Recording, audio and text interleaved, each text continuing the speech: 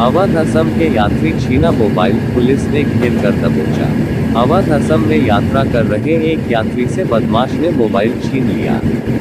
इसकी सूचना पर सक्रिय हुई आरपीएफ व रेल पुलिस ने शातिर को शनिवार को रामदयालु नगर। अवध असम में यात्रा कर रहे एक यात्री से बदमाश ने मोबाइल छीन लिया।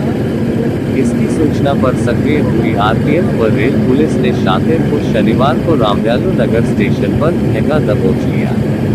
उसके पास से समस्तीपुर के यात्री पंकज कुमार का मोबाइल बरामद हुआ। फ़िलहाल रेल पुलिस चोरी के मोबाइल खरीदारी करने वाले दुकानदार की गिरफ़्तार को रामदयालु इलाके में छापेमारी कर रही है।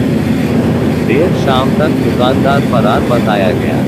रेल थाना के इंस्पेक्टर रंजीत कुमार ने पुलिस पदाधिकारी के बयान पर गिरफ़्तार काजी मोहम्मदपुर थाना क्षेत्र के मालिकोट बक्सी कॉलोनी के हो।